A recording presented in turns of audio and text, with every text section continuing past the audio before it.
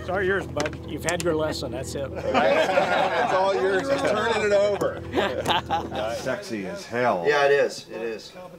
Oh, oh, do you hear that? Remember, we were at the Can-Am, uh, the Historics race in Monterey, and Taggart had the uh, the Formula One car there, and it was just like, oh my God, look at these cars go around the track, and and, and it was just like Formula One. And then they said, all right, Formula One cars clear out. It's time for the Can-Am cars to come on. And it was just like, uh, you want to talk about a difference? It was a night and day difference.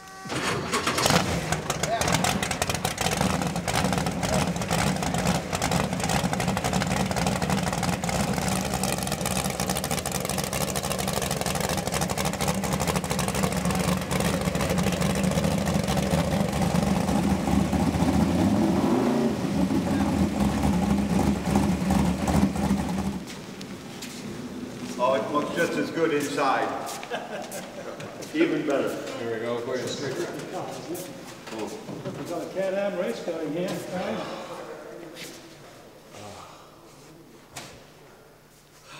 Dream come true. I don't think this thing has been raced until whoever bought the, what was left of the chassis. I'll show you the picture of it. This thing, this is not the original chassis. None of this is original. Yeah. Well, a lot of these cars that are on the market now, um, it's really hard to say what their history is. And so there's a real in-depth process to really inspect it correctly. Someone's putting their life at risk with that. Exactly. yeah. like, that's, that's crazy. Phase one is the engine, and it's got some issues. Okay. Up here is a very inexpensive, entry-level type of roller rocker system. You know, you can't just look it over. You got to pull the wheels off. You got to pull the body off. There's a really a substantial amount of in-depth investigation before you really have a good idea of what kind of a car there is.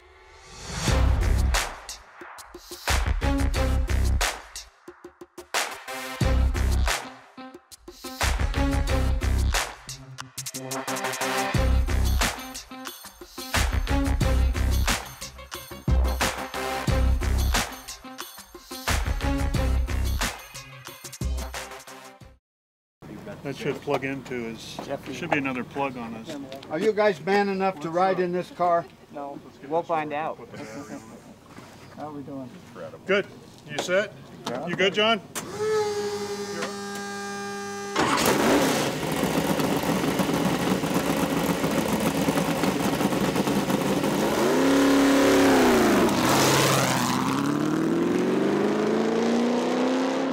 Oh, he's in for the ride of his life. He will never, he will have never had a ride like this.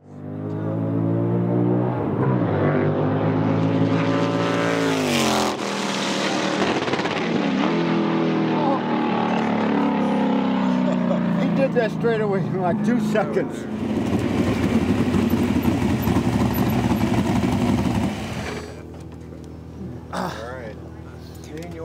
Got some blood. I gotta tell you that it changes everything. Doesn't it change everything? Oh my dude? gosh. Isn't that incredible? When you think about a street car or something, forget it. There's nothing Well, even remember So close. have you ever had a ride like that at Never.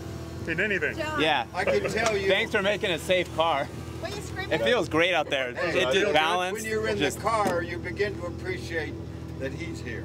Oh yeah, I Trust me, trust I was thinking You're I'm going gonna thank fast. Dean for making a safe car, and uh, Chuck. I don't know what you think, but the handling it felt great out there. It's outrageous. Is it? It is. What about the straightaway when you're Oh, when through? you hit it, it's just like all you hear is engine. Oh, really? Oh, it's roaring, so hard. That has an outrageous feeling. It's addictive. It makes you. Th- and you think you get it in this street cars, forget it. It's a waste of time. Oh, man. When the car first arrived, we did a preliminary assessment of it. It needed a substantial amount of work. It had uh, new axles, uh, new wheels made. Um, we had to pull the heads off. They needed quite a bit of work done on the heads. Um, several little things, a lot of little fasteners that were incorrect, a lot of hardware that wasn't military type hardware.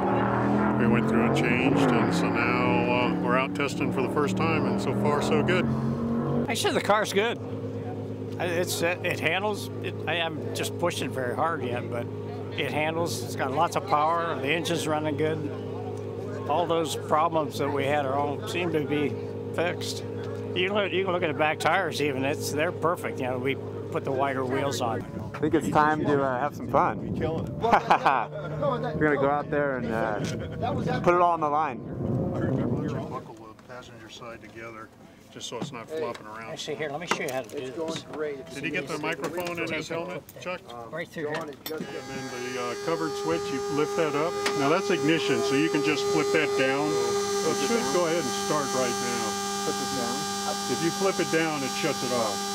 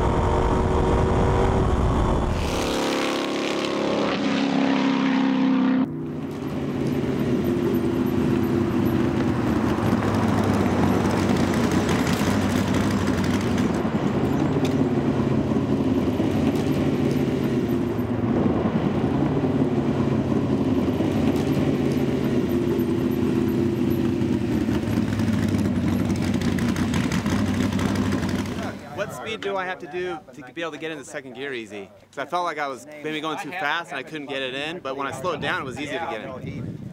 It's hard to say where the gearing is because the transmission we change each pair of gears. In, aside from that, then it, everything was great. Yeah. I figured it out. I only did second gear at that hairpin up up there. Uh, third and fourth, everything else. Yeah. I can't believe people who haven't experienced this, man, they're not living. No idea. It's, it's a whole other world. Oh, Oh just a car at a racetrack. No. That is incredible. Yeah. And I'm just scratching the surface, but I want to learn how to like start pushing it a little bit. Right. Yeah. At some point, it probably wouldn't be bad when you're comfortable to go out again with Chuck. Now you got another way to look at. Yeah, I'm not gonna start watching how he did it. So I yeah. mean, so you now you know Right. in your mind what to look for. Oh, okay, Yeah. he's here, or he's braking here, or he's mm-hmm. on the throttle easy. And until you drive it, you can't. You I don't know gotta say, it's a, it's a great first day. I was like slamming it on the gas a little bit. Dude, that looks so good coming along the straight. It's, You're this is the a best decision. You're natural. What's that? This is the best decision. We did the right thing. We're gonna sell it though after. yeah, right. Yeah, John, You sell it to me. so. All right. This is the life. I gotta tell you, you haven't lived until you like get behind the wheel and the shifter of that. Holy cow. Video. How do you feel? Have you ever experienced anything like this before? it's a lot more comfortable than it looks.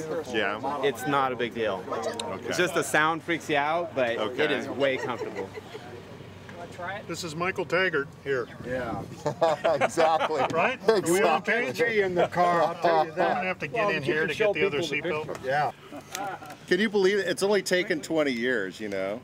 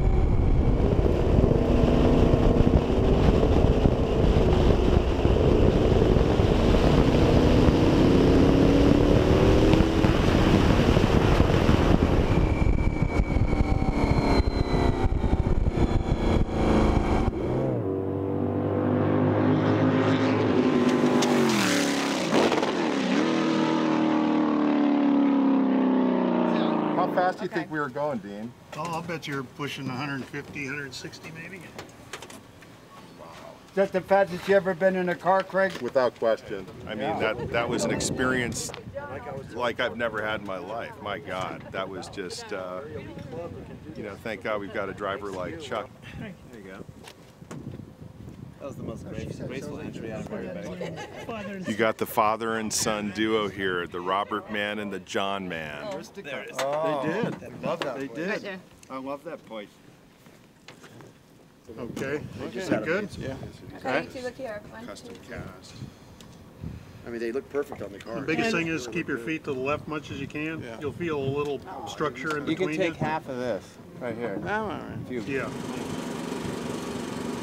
Get ready for Laguna Seca. We'll be the first, the first paired team.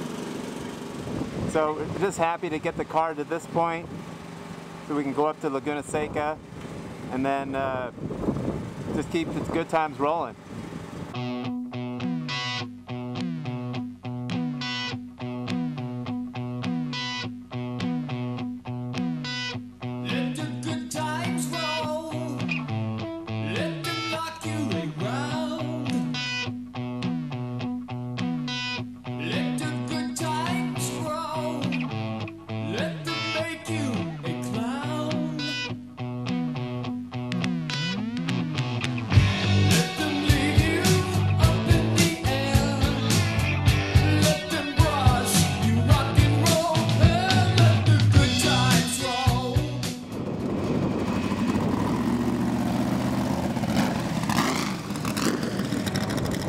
The the steering's just smooth, precise, uh, lot wider power band. Uh, yeah, so some good work went into the car. Felt, felt really good out there. And it feels stable to you? Yeah, and Chuck was right. You don't have to hardly downshift. No. I, I even went through some corners in fourth gear on accident. Yeah. No big deal. And it accelerated out okay? Yeah, okay? yeah. I think that's part of just putting a little more fuel to it where the engine's getting, you know, real happy. It's getting a good mixture when it'll Yeah, when it'll respond like that down low and not stutter, then you're really close on fuel mixture. I think we set a, a, a, a lap uh, record out there. At least it felt like it. 31 flat with a passenger. 31 flat with a passenger. All I can say is, in Chuck we trust. That's probably a big mistake. Probably a massive Because that was just okay. He's he's driving. Think about making that, that long sweeping oh, Turn. Oh man, it's it's pretty awesome. That was great though. Thank you very much. You're gonna be trusting. There are a Oh, lot of people. that There are a lot of people who won't ride I'm with gonna me. tell you to slow down. I just I'm trusting him. You said you usually don't run that fast? Not with the passenger. Oh, so you were pushing it. yeah. Once I over. knew he saw one of that BMW in that other car, and then he's. Do you Okay, chase I said, "Oh shit, man, he's going. I going." said we after can't him. let him. We can't let him do that. He's going after him. We've been working on the car since last year, and uh, really from suspension to the top end of the engine, to uh, steering, to uh, fuel injection system, uh, to you name it, on and on. Uh, the car's been gone through, and we're really seeing the results. So our, we probably have one more testing day uh, scheduled in about a month, and then we'll be looking forward towards the 50th anniversary, the Can-Am Series at uh, in Monterey, um, the uh, historic races there. So we're, we're excited to have uh, Chuck McConnell uh, drive our car uh, during that series, and we're really looking forward to being part of history. Well, he's going to do a couple laps to warm it up, and then we'll do a plug check on it, and then we're going to do about 10 laps, see how the uh, fuel burn is and how the battery holds up.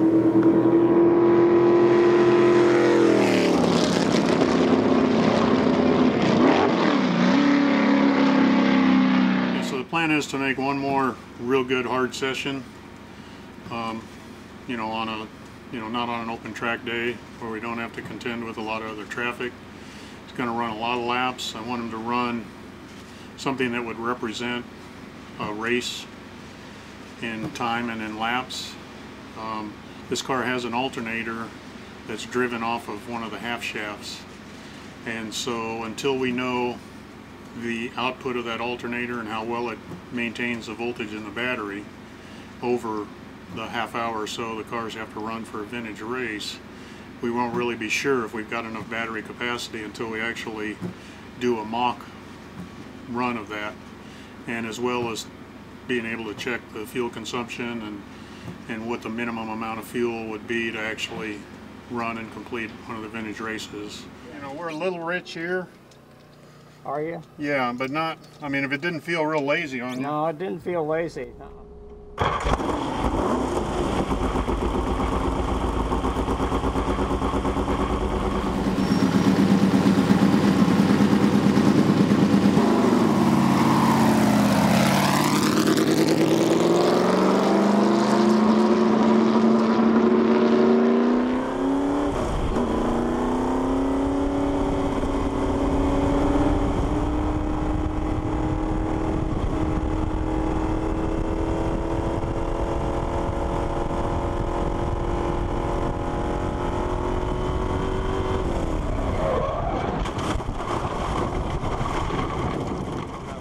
Corner. It just shut down for a second, and then it came back on. just bang, bang like that. I'd seen it the, the lap before. The pressure kind of fluctuated. I thought, shit, I may be running out of fuel. I'm not sure, but that's what it did. Looking forward to uh, you know feeling out next upgrades we have done on the car. See how steady that is with the uh, with all the gears uh, replaced, new gears. Um, so looking forward. You know this will be our closing day here before we head up to the historics in Monterey. First venture out in the Lola here.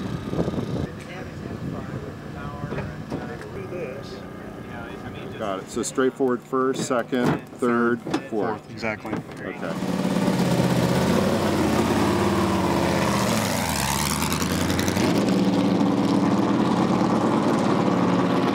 Tough to have your first day in the car and have a mechanical fuel pump acting up because you don't know how to drive through it and you're scared to stomp on it.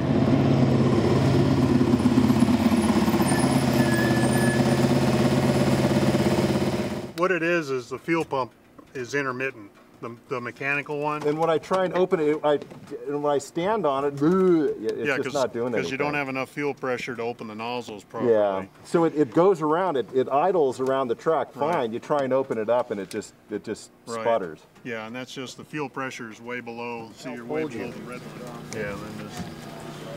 That's better, huh? You got gloves, John? Well, it looks like we lost the mechanical pump. Okay. Um, not the drive or anything, but the pump itself. You know, when you turn it off, it's got like 20 pounds. Yeah.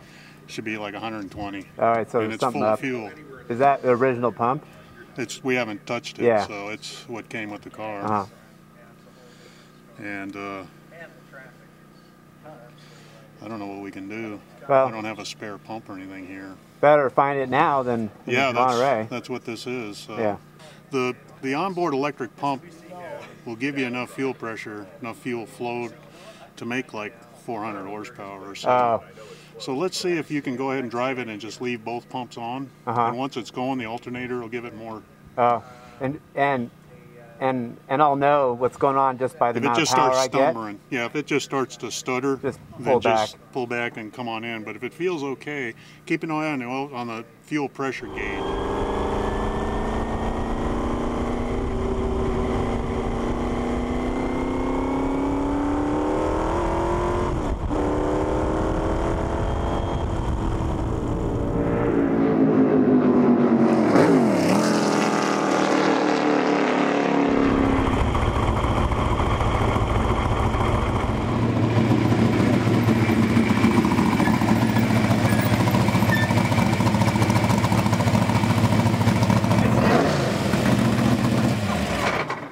Stayed around one 130, 135. Okay, so the mechanical pump is back working. You're kidding me. No, What the hell was going on? Every time you work on the car, it's a little better. So that's the point. I'm glad to hear that, John. the the uh, throttle response and the gears, I mean, it's the it's the fastest it's ever felt. Yeah. So it's just beautiful. Yeah, we added fuel and then getting the gears where they should be. I mean, the acceleration is just, it's unbelievable. That's pretty cool. Wow, what a great car. So great to see it back out and going again. And uh, sounds fantastic. And uh, got the right guy uh, driving it. And uh, I think uh, this is this is destined to be a, uh, a major addition to the, the show coming up. And the part that is going to reward you is that you are doing it right. And making sure that you don't just try to rush something that is fresh out of the box from some clowns that you know may or may not have known what they were doing oh, and, and getting it right. We right. know a lot of people like that. And there are. And, and I have bought race cars over the years, and I know you can try everything under the sun, but at the end of the day, if you rush it to the track, you will regret it. You know, Laguna Seca, it's a whole different bag of tricks. There's 37 cars going to be there. I tell you, we're just going to go with the attitude. We're going to do the best we can. It may be just fine, who knows? But I'm always quicker in the race anyhow. So.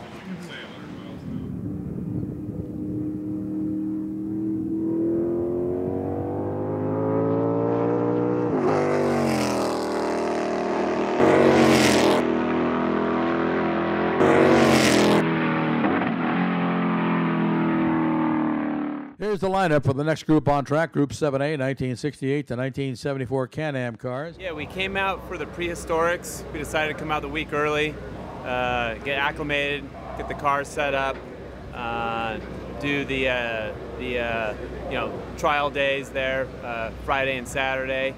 Um, and uh, so Friday, I was part of the the parade that went from the track down to Monterey, downtown Monterey. Had a car show down there, so that was a big deal. We were the only Can-Am in the fleet. There was mostly hot rods, so it def- definitely was a big attention grabber. It was a little bit of a handful driving this car in the streets of Monterey, but I loved it. Uh, I got to ride down with my dad, and, and he got a kick out of that. Um, so that, that was that was a big deal.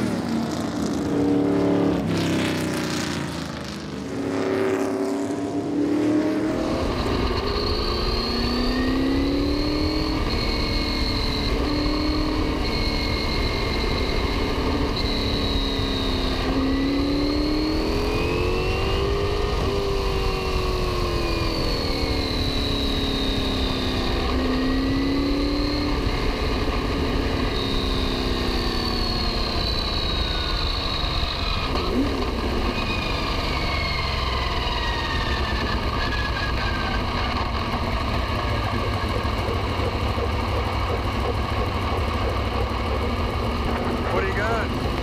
The sticking on this thing, bad. What's that?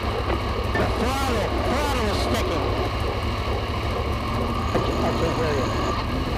Yeah, there's nothing we can do without taking the nose off. Okay. You ready to take it out? No, whatever you think. It's no good if it's sticking on you, though. Take it in? Go ahead.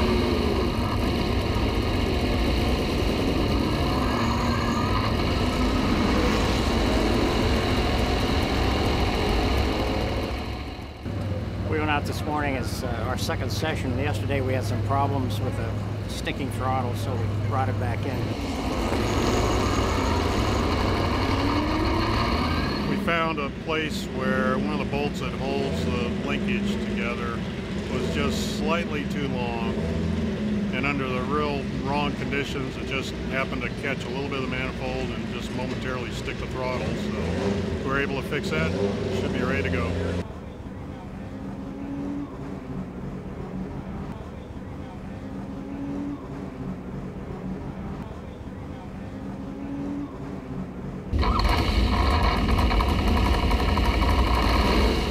25th, car 1T, Chuck McConnell, Arroyo Grande, California, 68 Lola 160.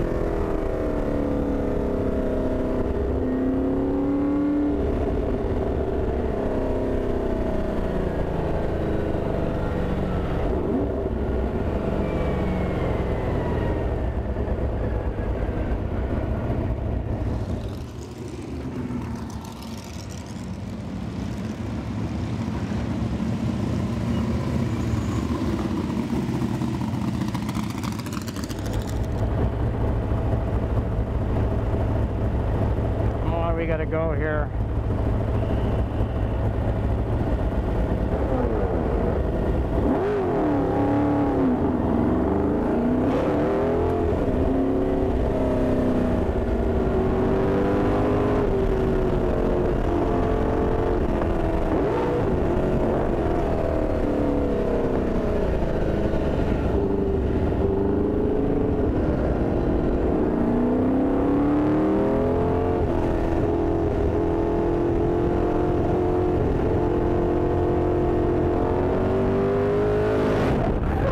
Jesus, something, something, boy. Jesus Christ. I'm okay.